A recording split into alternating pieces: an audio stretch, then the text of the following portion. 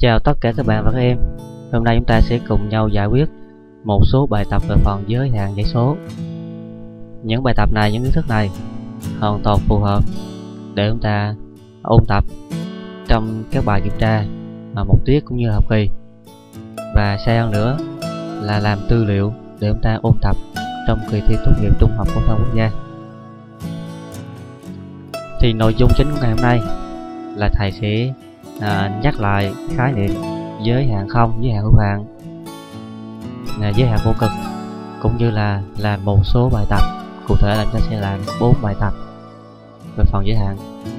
Các bài tập này thầy sẽ làm theo hướng tự luận. Và với tư duy tự luận đó thì chúng ta sẽ chuyển qua trắc nghiệm như thế nào? Tại sao chúng ta lại nhìn vào và chúng ta có ngay được đáp số? Đầu tiên thầy đi vào phần số 1 Phần số 1 này, chúng ta sẽ tìm hiểu về dãy số có giới hạn không, cũng như là giới hạn hữu hạn, và tìm hiểu về một số tính chất của nó.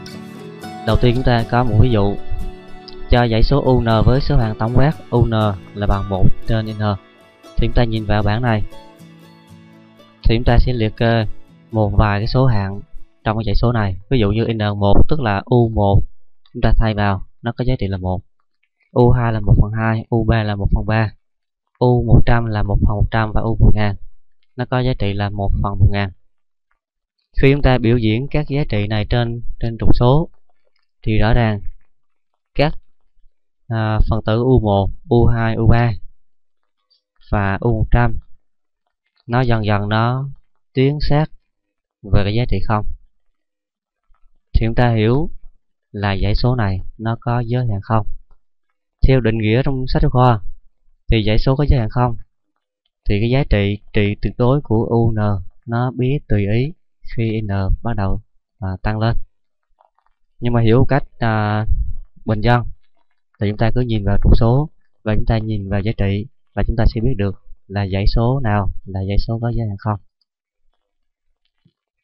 À, thêm một ví dụ nữa là ví dụ số 2 UN là bằng trừ 1 mũ N chia cho n thì khi chúng ta à, liệt kê các số hạng của dãy số này ví dụ như u1 là bằng trừ 1 u2 là 1 phần 2 u3 là trừ 1 phần 3 u100 là 1 phần 100 ở đây là u1 u2 u3 u4 u5 nó sẽ đạt giá âm u6 dương. Tuy âm dương nó thay đổi liên tục nhưng mà nhận thấy rằng các giá trị un này khi n nó tiến tiến dần đến à, uh, dương vô cùng tức là nó tăng dần thì giá trị un nó sẽ tiến sát về số 0 thì người ta gọi hai dãy số này là hai dãy số có giới hạn không. Và người ta ký hiệu lim un khi n tiến tới dương vô cùng bằng không. Hay lim un bằng không. Thầy nhấn mạnh là một ý bởi vì hiện tại chúng ta đang học về giới hạn dãy số thì n nó chính là chỉ số ở phía dưới thì n xuất phát từ 1, 2, 3, 4 và nó tăng dần đến dương vô cùng. Nên trong cái phần giới hạn dãy số này, dù không ghi n tiến tới dương vô cùng, nhưng chúng ta cũng hiểu đó chính là n tiến tới dương vô cùng. Nhưng ở những bài sau, khi chuyển qua giới hạn hàm số, thì cái giá trị x hay giá trị n này nó có thể tiến tới dương vô cùng, a vô cùng hay là tiến tới một, một cộng, một trừ. Thì bắt buộc bên giới hạn hàm số chúng ta phải ghi rõ. Hiện tại đang học về giới hạn dãy số nên n chỉ có tiến tới dương vô cùng thôi. Thì chúng ta có một số cái à, dãy có giới hạn không thường gặp.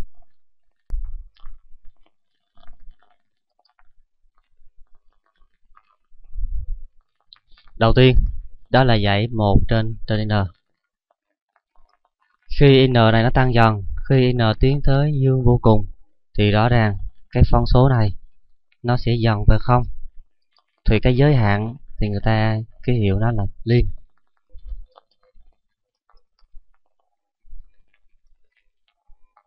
Ở đây n nó sẽ tiến tới à, dương vô cùng.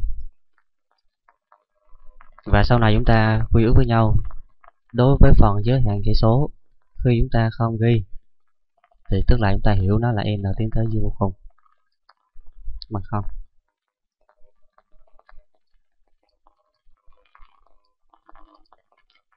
Ngồi đây. n mũ 2 à, liên 1 trên n mũ 2 nó cũng sẽ bằng không tức là có giới hạn không. Thì người ta sẽ khai quát lên là giới hạn của dãy số 1 chia cho n mũ k nó cũng sẽ bằng 0. Ở đây với k sẽ thuộc vào n sao.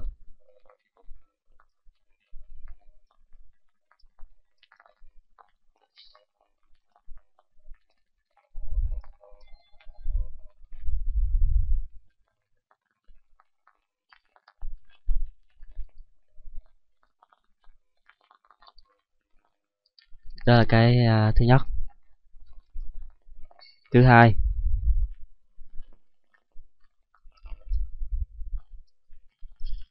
Là giới hạn của dãy số. Thầy lấy ví dụ. Đêm của 2 phần 3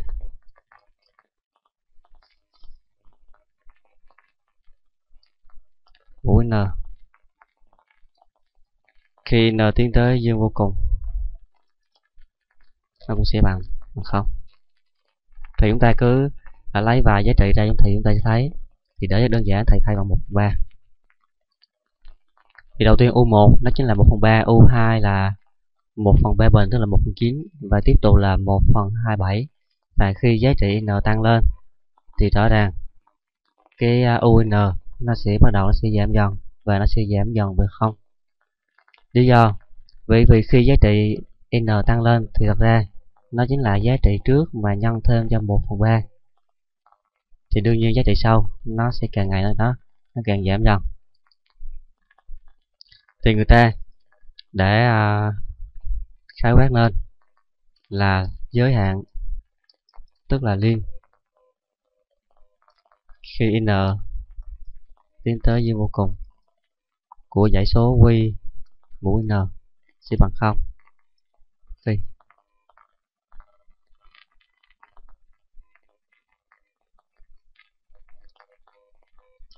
Trị tuyệt đối của quy. Bé nhân một.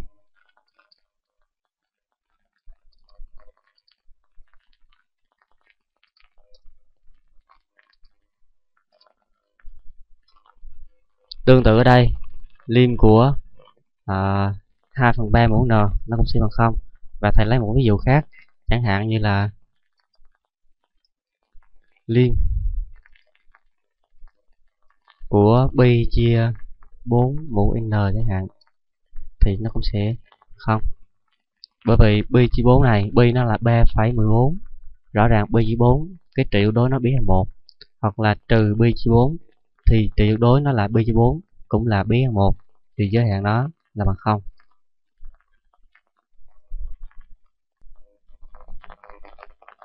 Đây chính là hai cái, cái à, giới hạn mà chúng ta thường gặp nhất chúng ta qua phần tiếp theo là dãy số có giới hạn hữu hạn là được cái hiệu là lim un là bằng phần a. A ở đây nó chính là số hữu hạn thì nó cũng tương tự như là dãy số có giới hạn không? Thì chúng ta có thể hiểu một cách đơn giản như sau. Tức là khi n tiến tới vô cùng, thì giá trị un này nó sẽ tiến dần về a. Nó có thể tiến từ bên phải tiến qua, tức là tiến theo chiều dương, từ bên trái tiến qua, hoặc là nó tiến một cách tùy ý chúng ta có một số tính chất. Tính chất số 1 là giới hạn của tổng là bằng tổng các giới hạn. Lưu ý tính chất này nó đang áp dụng cho giới hạn hữu hạn. Giới hạn tổng là tổng các giới hạn. Ví dụ lim un cộng cho vn nó sẽ bằng à, lim u cộng cho cho lim p nếu bây giờ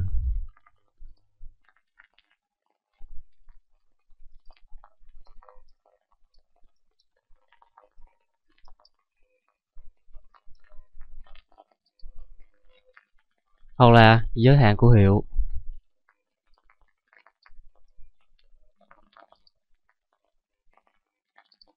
hiệu thì bằng hiệu các giới hạn. Tương tự đối với là tích hoặc là thương. Nhưng mà đối với cái phép chia thì lưu ý mẫu ở đây chúng ta phải để ý nó là à, mẫu khác không. Tích thương. Thì chúng ta qua phần 2 là dãy số có giới hạn vô cực. Chúng ta sẽ đi nhanh phần này để chúng ta đi vào các bài tập cụ thể. Dãy số có giới hạn vô cực hay là vô cùng. Thầy lấy ví dụ chúng ta để ý dãy un là bằng n bình. Rõ ràng khi giá trị n nó tăng tăng dần, thì n bình nó cũng phải tăng dần. Và khi n nó tới vô cùng lớn, thì rõ ràng n bình nó cũng sẽ vô cùng lớn. Thì người ta gọi giới hạn của n bình là bằng dương vô cùng. Ký hiệu lim n bình là bằng dương vô cùng. Thì ngược lại à, lim của trừ n bình. N nó, nó vô cùng lớn thì rõ ràng là trừ n bình. Nó sẽ là âm vô cùng. Thì người ta ký hiệu nó là lim trừ n bình. Khi n tiến tới âm à, dương vô cùng là bằng âm vô cùng. Chúng ta cũng có một số dãy à, có giới hạn vô cùng. Đầu tiên là lim của n mũ k. Nó sẽ bằng. Dương vô cùng. Với k ở đây. K. Thuộc vào n sao?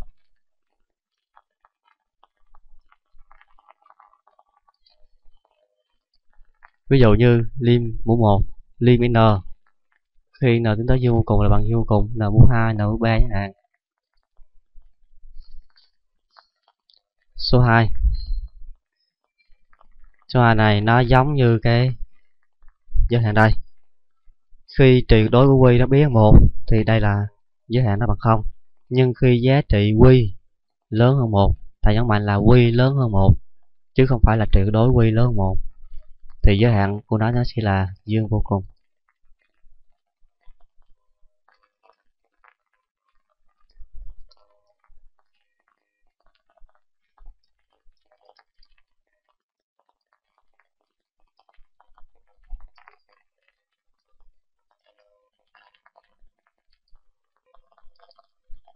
Chúng ta đi vào một số tính chất. Thì đây, nó là những tính chất quan trọng nên chúng ta cần phải nắm chắc trước khi chúng ta đi vào các bài tập cụ thể. Thì đầu tiên, đó là thầy nói về về tích. Tính chất cụ thể là chúng ta sẽ xem trong phần phần chất sách giáo khoa. Nhưng ở đây, thầy sẽ à, diễn đạt theo một cách là bình dân.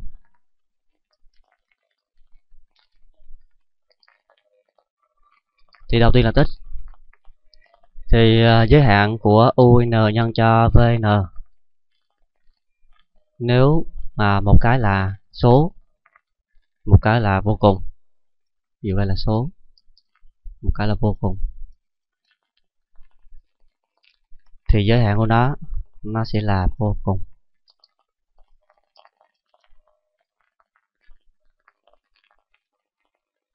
Đây là hiểu theo cách bình dân. Nếu làm theo kiểu tự luận, chúng ta không được phép mà chúng ta ghi như thế này. Hai nhân cho dương vô cùng. Bằng dương vô cùng.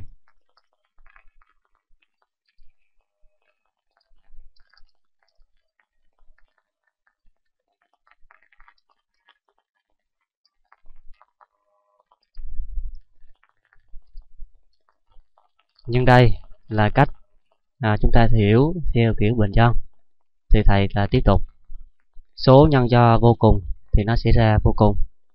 Thì y như là nhân hai số lại với nhau thì nếu dương dương thì nó sẽ ra dương âm âm nó sẽ ra dương.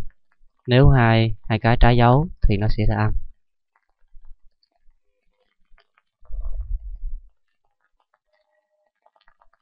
Tương tự ở đây vô cùng mà nhân cho vô cùng, thì nó sẽ ra vô cùng. Ở đây thầy đang nói về giới hạn.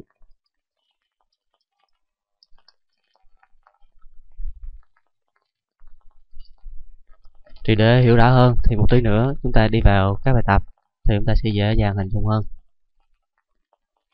Tương tự đây nếu cùng dấu thì nó sẽ ra dương, mà nếu trái dấu thì nó sẽ ra âm đây là thầy đang nói về tích.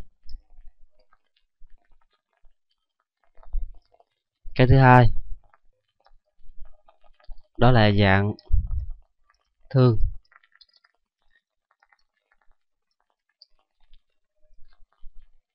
Thì chúng ta có một số mà chia cho vô cùng. Thì nó sẽ nó sẽ là không. Thầy đã nói về dạng, đang là cái dạng một số trên vô cùng thì giới hạn đó là là không. Còn một số mà trên không, tức là cái giới hạn này, thì nó sẽ ra vô cùng. Thì bài, nếu mà bài một số mà chia cho không ra vô cùng, thì chúng ta phải cần phải xét dấu tử xét dấu mẫu để biết được nó là âm vô cùng hay là dương vô cùng.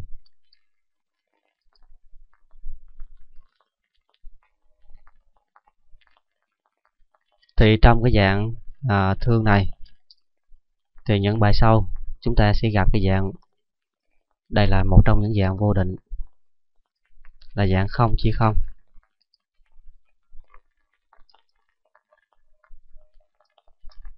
Là một. Cái thứ hai là cái chỗ là tích thương đây là dạng tích. Tiếp theo là tổng hiệu.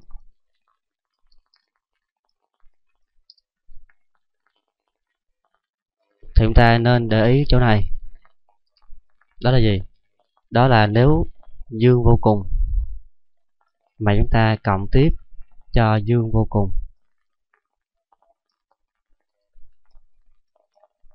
thì chắc chắn nó phải ra dương vô cùng. Âm vô cùng. Mà cộng tiếp cho âm vô cùng thì chắc chắn nó phải ra âm vô cùng. Đây là hai dạng thông thường. Nhưng nếu chúng ta có à, dương vô cùng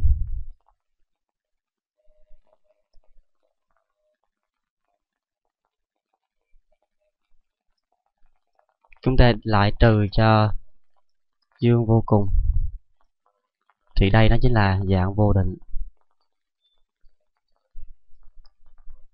Hay. Cái loại thứ hai là âm vô cùng, mà đem trừ cho âm vô cùng. Bởi vì âm vô cùng, trừ cho, trừ âm vô cùng thì tức là âm vô cùng, cộng cho dương vô cùng. Thì hoàn toàn ta không biết được, đáp số ra bao nhiêu cả. Thì ở dạng tổng hiệu này nếu chúng ta thấy ở trước đây là dương vô cùng và chúng ta lại trừ cho trừ vô cùng thì rõ ràng trừ với trừ thì nó là cộng vô cùng.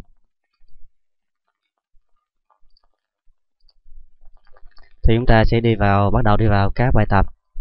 Ở ở đây còn một số dạng nữa nhưng mà à, sợ bây giờ chúng ta nếu mà thầy nói ra thì chúng ta lại à, khó hình dung. Nên thầy sẽ để dành qua bên phần giới hạn hàm số chúng ta đi vào nội dung chính, tức là giải quyết các bài tập theo hướng tự luận.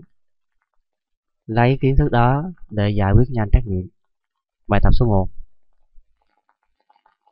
hiện tại bài tập số 1 này, nó là đa thức và phân thức. Đa thức, câu A, B. Phân thức, tức là đa thức gì đa thức? C, D I chúng ta có một cách làm duy nhất, đó là rút ra chúng ta rút cái gì ra? Thì chúng ta xem thử. À, n với số mũ lớn nhất bao nhiêu? Thì chúng ta sẽ rút ra. Một cách làm cho tất cả các bài này. Các em bắt đầu chú ý.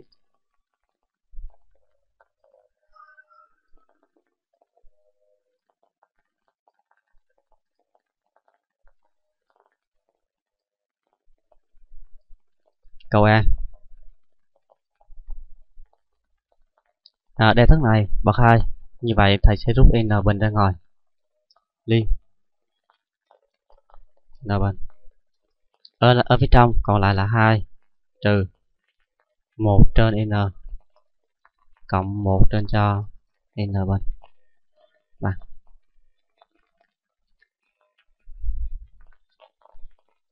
phía sau này đây là giới hạn của tổng hiệu là tổng hiệu các giới hạn. Và phía trước này là giới hạn của cụ tích. Khi n tiến tới dương vô cùng thì à, một số nó sẽ tiến tới chính nó. Như vậy ở đây là hai. Ngay chỗ này là không. Ngay chỗ này là không. Như vậy nguyên cả cụm này giới hạn của nó là hai là một số dương. N bên giới hạn của nó là dương vô cùng. Như vậy dương vô cùng nhân tiếp số dương thì nó sẽ ra dương vô cùng. Chúng ta nên nhẩm những điều đó chứ chúng ta không nên ghi dương vô cùng nhân 2 là bằng dương vô cùng. Dù rằng sau này chúng ta xử lý trắc nghiệm thì chúng ta uh, không có trình bày nhưng mà thầy cũng uh, khuyến khích là chúng ta nên nhẩm và chúng ta ghi kết quả ra ngay. Chứ chúng ta đừng nên ghi là dương vô cùng nhân 2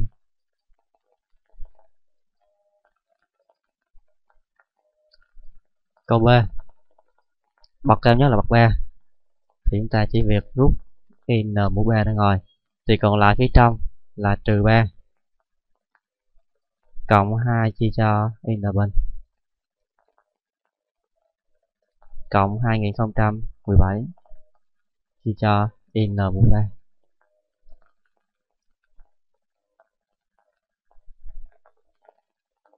ngay đây, giới hạn nó là số 0 lý do đây là chính là à, một số chia cho vô cùng thì nó sẽ ra không. Ra không.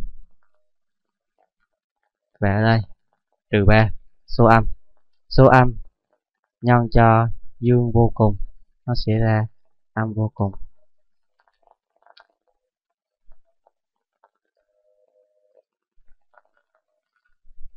Tùy qua hai bài này thì rõ ràng, chúng ta tinh ý, chúng ta sẽ nhận ra ngay là chúng ta nhìn vào chỗ nào để chúng ta biết được đáp số, để ứng dụng qua bài toán trắc nghiệm. Thì chúng ta nhìn vào câu E trước. Rõ ràng, chúng ta sẽ rút n với bậc cao nhất ra ngoài. Ở cụ thể là chúng ta sẽ rút n bình ra.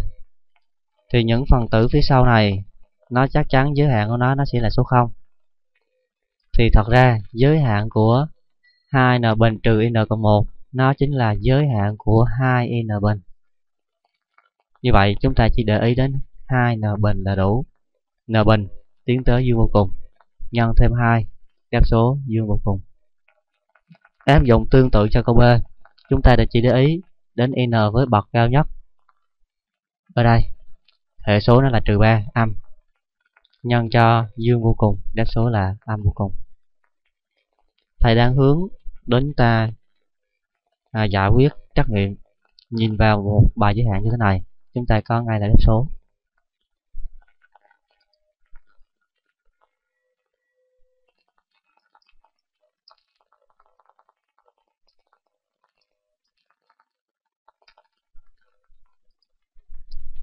Câu C. CDE Đây là phân thức Tức là đa thức gì đa thức? Chúng ta để ý đến ba kiểu Nó chính là ba ví dụ này. Câu C Thầy nói luôn Đây chính là bậc tử bằng bậc mẫu. Câu D Bậc tử là hai bậc mẫu là 4 Bậc tử bé hơn bậc mẫu. Câu E Bậc tử là 4, bậc mẫu là hai Bậc tử lớn hơn bậc mẫu. Thì đây chính là bốn dạng. Nếu chúng ta tinh ý thì chúng ta nhìn vào chúng ta có ngay đáp số. Đầu tiên chúng ta sẽ giải quyết theo hướng tự luận để hiểu là là vì sao. Chúng ta nhìn vào chúng ta lại nhận ra ngay đáp số cách làm tương tự. Tương tự. Chúng ta rút ra n với bậc lớn nhất ra. Tương tự với mẫu, chúng ta cũng rút n với bậc lớn nhất ra. N42 khi còn lại là 2 cộng 1 chia n. Cộng 1 chia n bên. Dưới mẫu chúng ta rút n n mũ 2 ra. Còn lại là 3 trừ 1 chia n.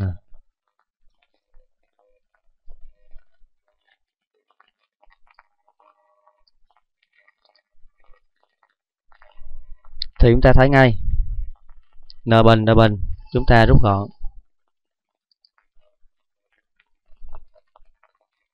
Khi n tiến tới dương vô cùng đây là không. Đây là không. Đây là không. Còn lại là 2 phần 3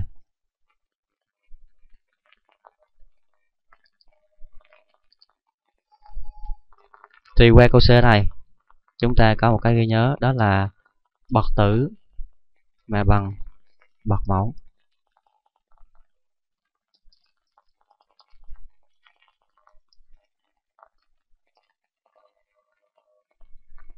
Ở đây nếu bậc tử mà bằng bậc mẫu thì cái giới hạn đó chính là hệ số đứng trước n với số mũ cao nhất tương tử chia cho hệ số à, đứng trước n với số mũ cao nhất ở dưới mẫu.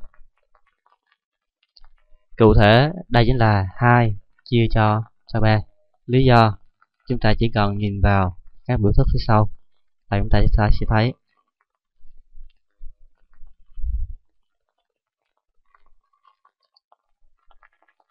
Chúng ta qua câu D, bậc tử bé hơn bậc mẫu thì giới hạn bằng bao nhiêu?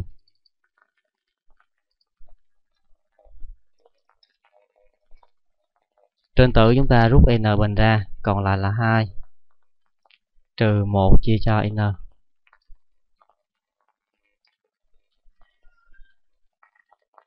Dưới mẫu, chúng ta rút n mũ 4 ra, thì còn lại số 3 cộng 1 chia cho N14 à N13 và vâng.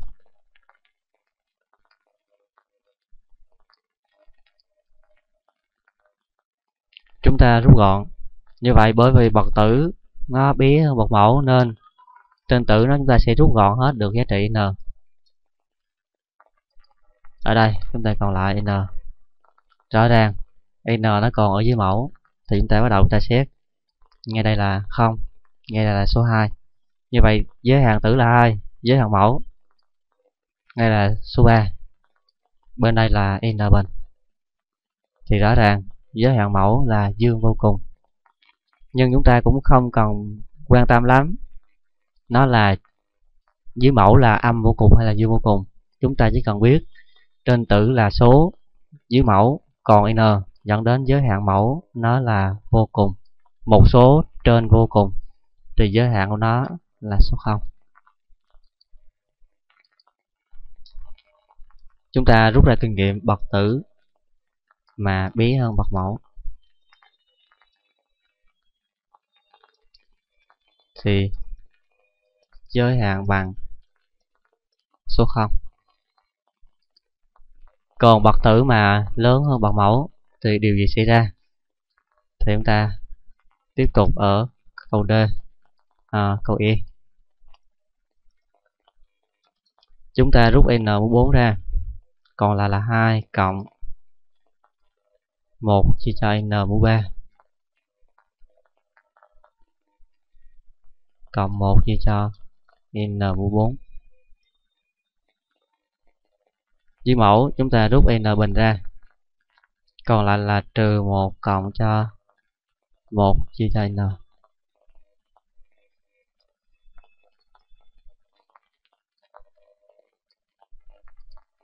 chúng ta thấy ngay, trên tử n mũ 4 dưới mẫu n bình như vậy sau khi rút gọn, nó sẽ còn lại là n trên tử. Cụm này, giới hạn là 2 dưới mẫu giới hạn là trừ 1 như vậy, nguyên cả phía sau này, giới hạn của nó là trừ 2 âm, nhân cho n bình như vậy, đáp số nó là âm vô cùng.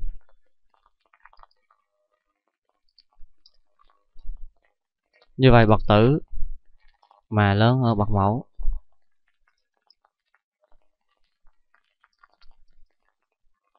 Thì cái giới hạn là vô cùng thì tùy bài nó có thể là âm vô cùng hay là dương vô cùng. Thì qua bốn câu này thầy nhắc lại một số điểm chúng ta cần lưu ý để chúng ta làm trắc nghiệm nhanh hơn đối với cái giới hạn đa thức hay là phân thức. Đầu tiên đối với đa thức chúng ta chỉ quan tâm đến à, n với bậc cao nhất và hệ số của nó. Cụ thể lim của 2n bình trừ n cộng 1 thì thực chất chúng ta chỉ quan tâm đến lim của 2n bình chúng ta xét n bình dương vô cùng, nhân thêm 2 dương, đáp số dương vô cùng.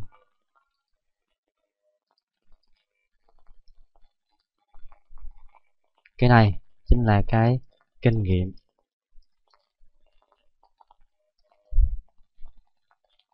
Thầy lưu ý, thầy đang hướng chúng ta đến trắc nghiệm chứ trong quá trình tự luận thì đương nhiên chúng ta phải làm như thế này. Chứ các bạn đừng có nên làm như thế này. Cái này là cái kinh nghiệm để chúng ta giải quyết. Để làm trắc nghiệm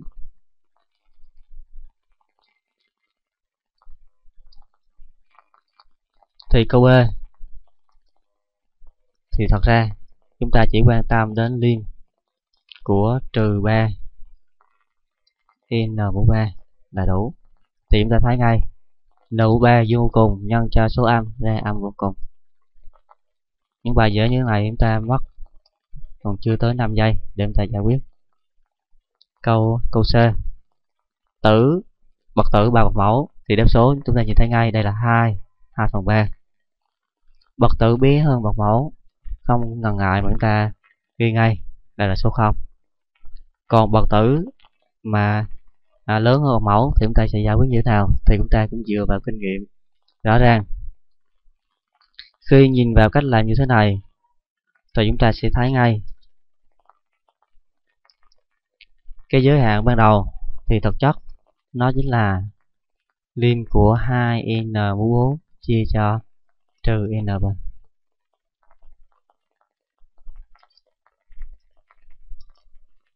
ở đây chúng ta chia ra thì còn lại là trừ 2 là bên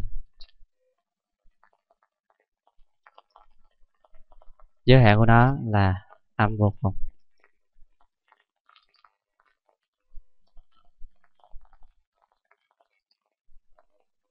Chúng ta tiếp tục về câu số 2 thì có vấn đề gì chưa rõ thì các bạn có thể là à, bình luận ở bên dưới video.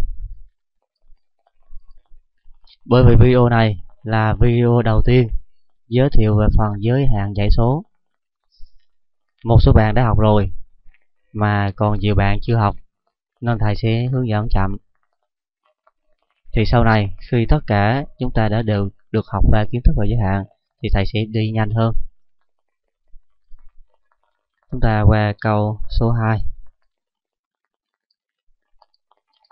tính các giới hạn sau. Đầu tiên, chúng ta đi vào câu A.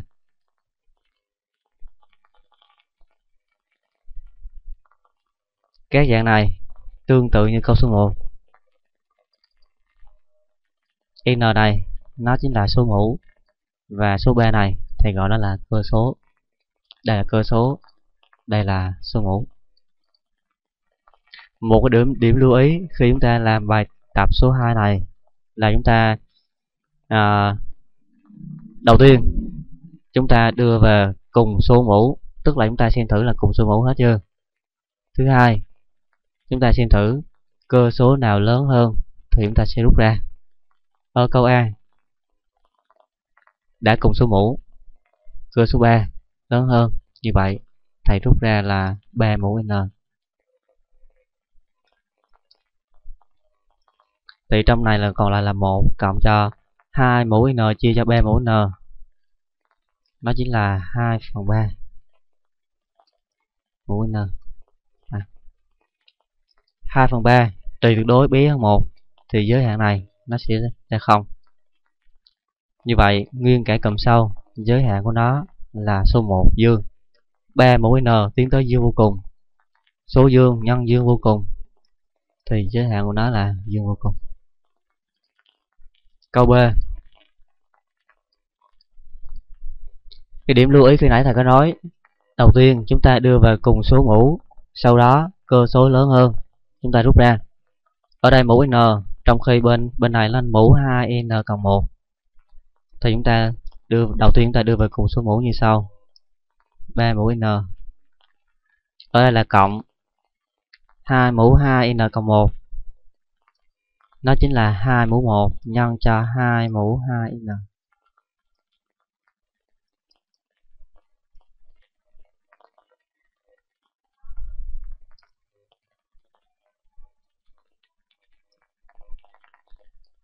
2 mũ 2n thì ở đây đó chính là 4 mũ n. Cơ số 4 lớn hơn. Chúng ta rút ra.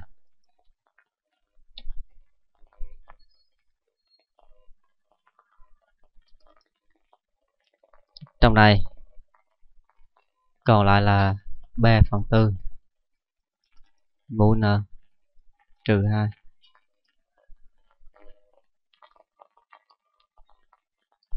ngay đây là giới hạn không trừ 2 như vậy, nguyên cả cụm sau trừ 2 âm nhân cho dương vô cùng ra âm vô cùng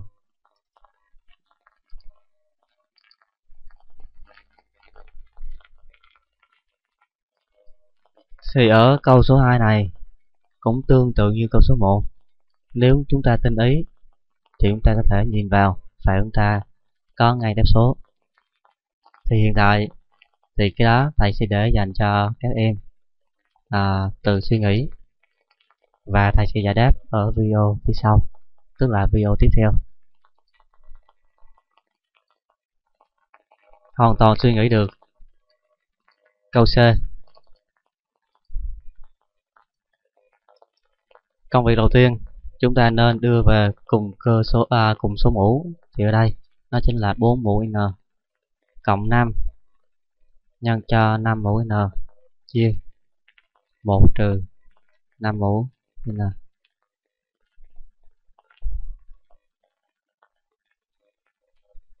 Rồi đây, nếu chúng ta để ý, thì chúng ta sẽ có ngay được cái số nó là trừ 5 thì chúng ta xem thử, ta sẽ làm như thế nào. Tương tự, chúng ta rút ra 5 mũ n. thì trong này nó sẽ còn là 4 phần 5 mũ n cộng 5 dưới mẫu khi chúng ta rút ra 5 mũ n, thì chúng ta sẽ còn lại là 1 phần 5 mũ n. 1 chia cho 5 mũ n nó chính là 1 phần 5 mũ n, trừ cho 1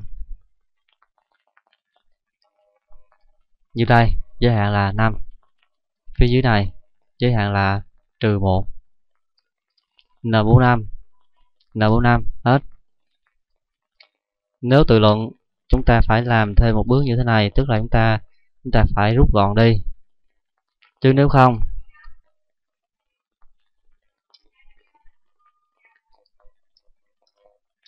thì hiện tại nếu mà chúng ta để như thế này thì nó vẫn đang là dạng vô cùng, trên vô cùng, thì chúng ta không được ghi đáp số ngay đây là tên tử là 5 với mẫu là trừ 1 đáp số là trừ 5 thầy nghĩ là qua ví dụ C này thì các em đã nắm được phần nào?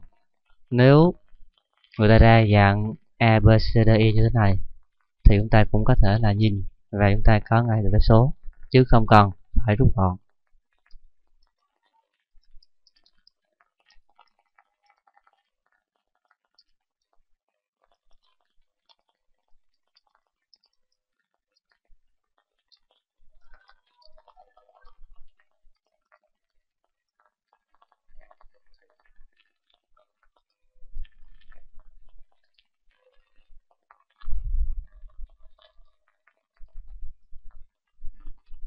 Câu D.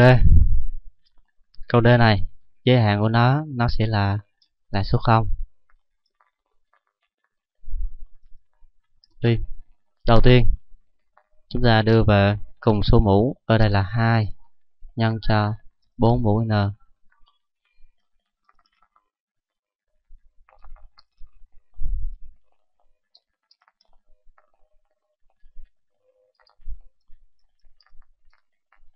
Trên tử chúng ta rút ra 4 mũi N. Còn lại là 2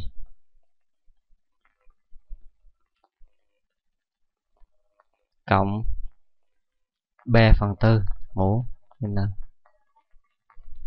Dưới mẫu chúng ta rút ra 7n thì trong này nó còn lại là 5 phần 7 mũ n. Ở đây thầy làm biến nó thầy à, ghi như thế này. Nhưng trong quá trình làm bài các em à, không nên ghi phân số dạng như thế này. Trừ 1 bằng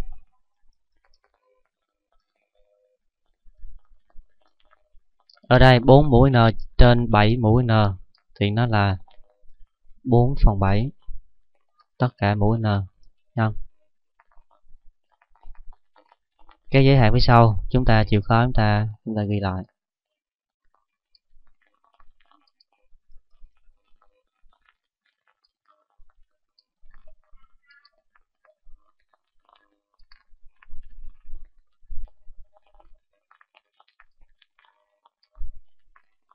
Phía sau này, ngay cái chân, ngay cái con trỏ thầy. Đây là không. Bên đây là hai, đây là không. Đây là trừ một. Như vậy phía sau, nó là trừ hai.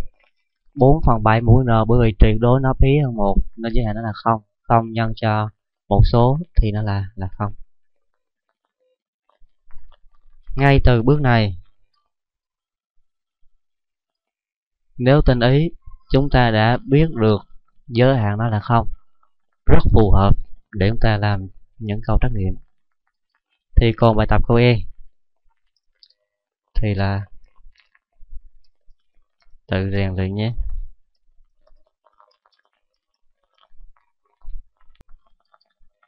Chúng ta chuẩn bị và hai bài tập cuối cùng. Và hai bài tập này hứa hẹn sẽ có nhiều điều hấp dẫn và thú vị hơn hai bài tập đầu rất là nhiều.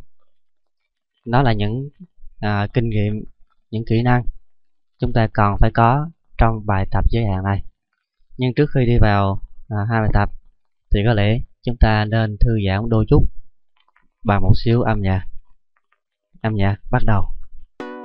Thì trong quá trình à, thư giãn thì các bạn có thể là click vào nút đăng ký để nhận những video mới nhất từ tác giả. Các bạn cũng có thể là truy cập thêm vào kênh youtube toán cấp 3 để xem thêm những video phù hợp. Ví dụ như phần à, nhị thức Newton này cũng à, được khá nhiều bạn ủng hộ.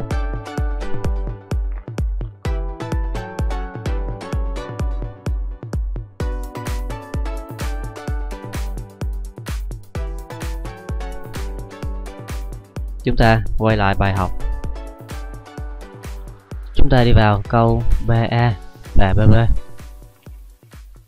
con hãy bình luận cái cách làm của thầy. Thì đầu tiên, các em cứ chú ý xem thử là nếu thầy làm như vậy thì kết cục thầy nhận được là như thế nào. Thì đầu tiên, câu số 3a tương tự như cách làm khi nãy, chúng ta rút ra. Chúng ta rút n với số mũ lớn nhất. Đầu tiên, chúng ta rút n ra khỏi căn trước. Thầy làm như sau.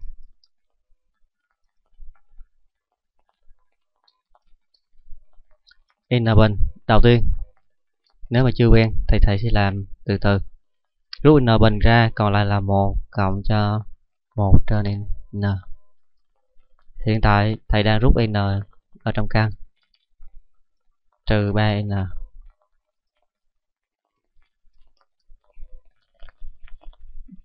n. Bình rút ra khỏi căn thì nó là trị tuyệt đối của n. Bởi vậy n tiến tới dương vô cùng, nên nó là n thầy nhấn mạnh lại. N bình rút ra khỏi căn nó là trị tuyệt đối của n. Bởi vì bài này đang là giới hạn của dãy số nên n. À, nên tuyệt đối n. Nó cũng chính là n. Nhưng mà sau này n của chúng ta nó có thể là âm thì khi phá ra nó phải là trừ n. Còn lại là một cộng một trên n trừ 3n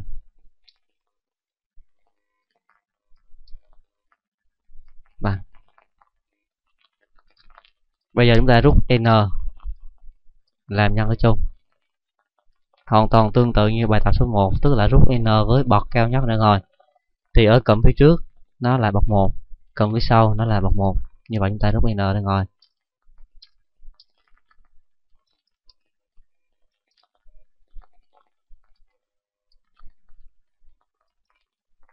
Còn lại căn 1 cộng 1 trên n trừ 3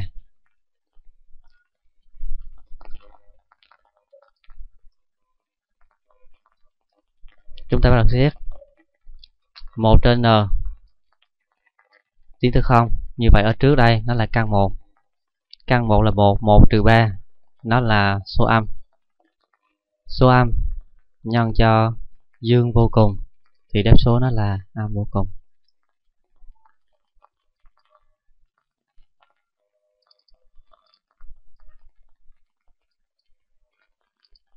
câu B nếu chúng ta làm tương tự như câu A, thì điều gì xảy ra? Các bạn khoan hãy bình luận là đúng hay sai, thì chúng ta cứ làm và chúng ta sẽ rút ra được kinh nghiệm.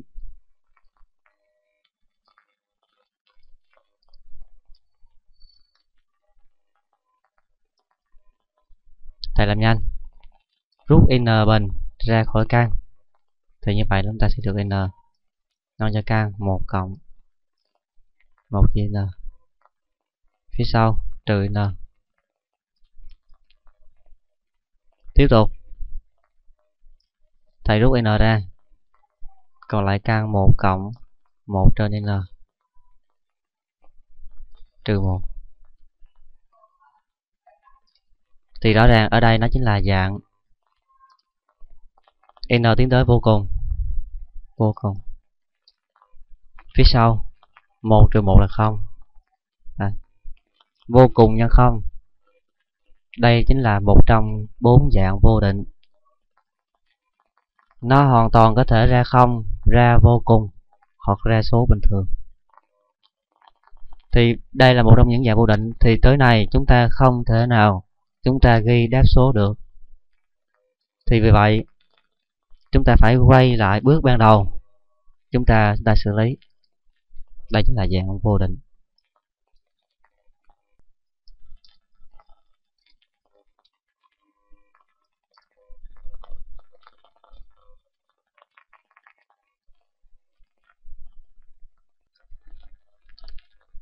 Thì bây giờ, thầy mới đi lại bốn cái dạng vô định để chúng ta nắm được là nếu ngay từ đầu chúng ta đã nhận thấy đây là dạng vô định thì chúng ta phải có hướng xử lý chứ không phải là lúc nào chúng ta cũng, cũng cứ rút ra. Siêu nữa thầy sẽ nói vì sao câu A chúng ta rút ra chúng ta làm bình thường mà câu B thì chúng ta lại rút ra nó lại dính đến dạng vô định. Thì đầu tiên thầy nhắc lại cái chỗ này là bốn dạng vô định.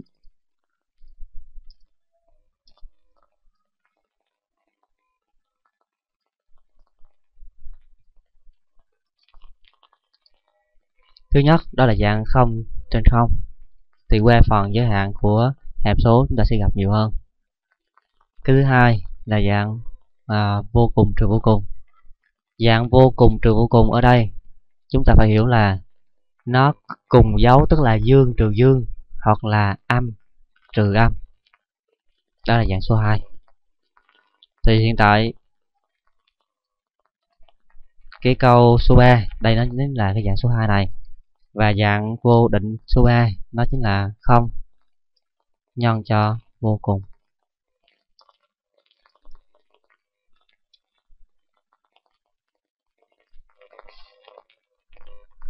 Thì hiện tại, thầy đề cập đến hai dạng này trước. Vô cùng, trừ vô cùng và không nhân vô cùng.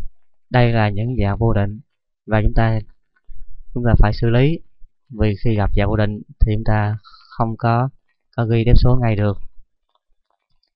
Chúng ta cùng nhìn lại câu A và câu B. Đầu tiên, thầy nhận dạng trước, sau đó thầy đề xuất hướng để chúng ta xử lý sau. Câu A. Ở đây là dấu trừ, thì chúng ta xét như sau. Cái cụm phía trước này, rõ ràng giới hạn của nó là dương vô cùng. Cộng này dương vô cùng 3n cũng tiến tới dương vô cùng như vậy đây là dạng dương vô cùng trừ dương vô cùng, cũng là dạng vô cùng trừ vô cùng. Câu b, cái cụm trước này, nó là dương vô cùng. Cụm phía sau, nó cũng là dương vô cùng. Thì câu B cũng là dạng dương vô cùng trừ dương vô cùng. Vì sao câu A rút được mà câu B rút không được? Thì chúng ta để ý, đối với dạng vô cùng trừ vô cùng, chúng ta để ý đến hai điều. Một là cùng bậc, hai là cùng hệ số, thì chúng ta phải có hướng xử lý. Còn nếu không cùng bậc hoặc là cùng hệ số, thì chúng ta có thể rút ra bình thường.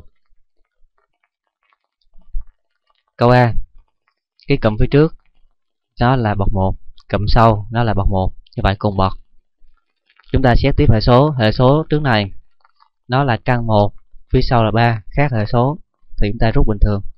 Nhưng ở câu B, cùng bậc, cùng là bậc 1 hệ số phía trước, căn 1 là 1 phía sau 1 như vậy cùng bậc cùng hệ số thì chúng ta không thể nào rút ra được. Rút chắc chắn chúng ta phải gặp dạng vô cùng nhân không? Thì chúng ta cứ nhìn vào cái câu B này chúng ta thấy. Khi rút n ra thì hai hệ số trừ nhau thì nếu nó bằng nhau thì đương nhiên nó ra số 0 rồi. Thì câu B này, chúng ta phải nhân liên hợp. Và thầy sẽ nhân liên hợp như sau.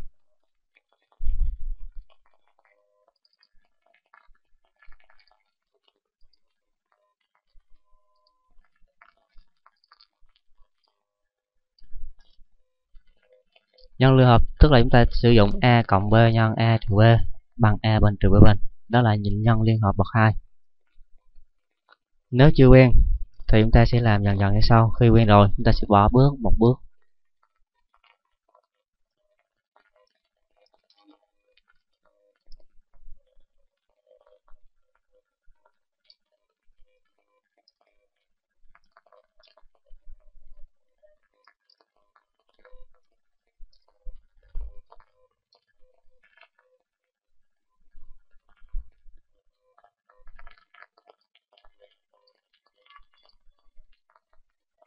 Ở đây dấu trừ, chúng ta nhân cho dấu cộng.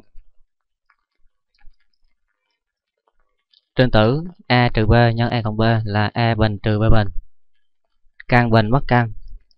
N bình cộng n. Dưới mẫu, chúng ta ghi lại. N bình. Trừ n bình hết.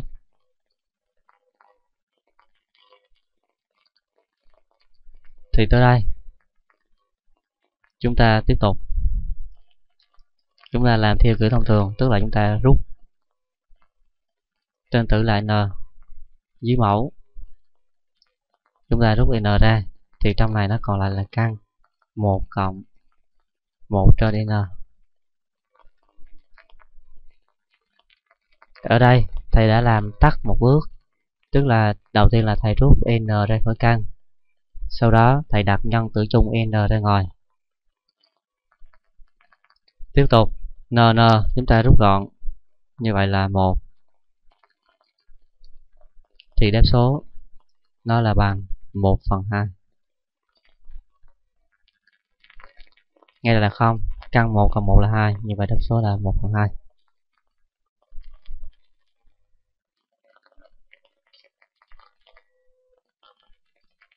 như vậy, qua hai câu AB chúng ta đã có một kinh nghiệm nếu là dạng vô cùng trừ vô cùng, cùng bậc và cùng hệ số thì chúng ta nhân liên hợp để chúng ta khử dạng vô định.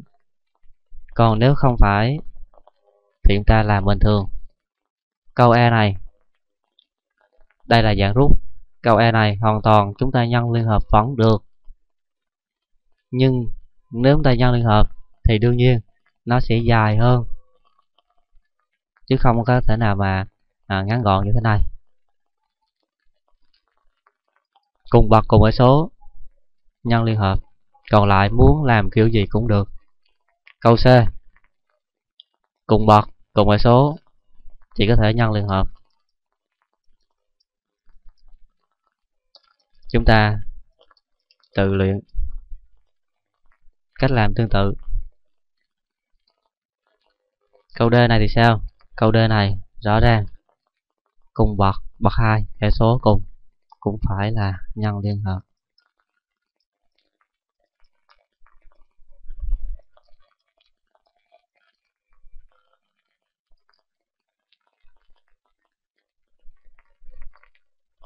Câu số 4 thầy chỉ làm một câu A. Và câu BCD thì chúng ta xem lại là thầy vừa nói những vấn đề gì. Thì chúng ta sẽ có được kinh nghiệm để chúng ta xử lý. Thầy chỉ làm mỗi câu A thôi ăn có cùng bậc hay không? Cùng bậc hệ số có cùng hay không? Phía trước 2 phía sau căn 2 không cùng hệ số. Nếu nhân liên hợp, vẫn được. Nhưng bài này, chúng ta chỉ việc rút ra là xong. Đầu tiên 2n trừ.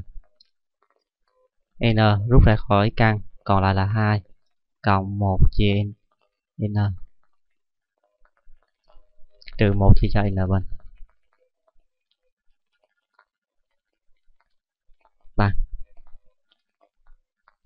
chúng ta rút n ra, còn lại 2 trừ.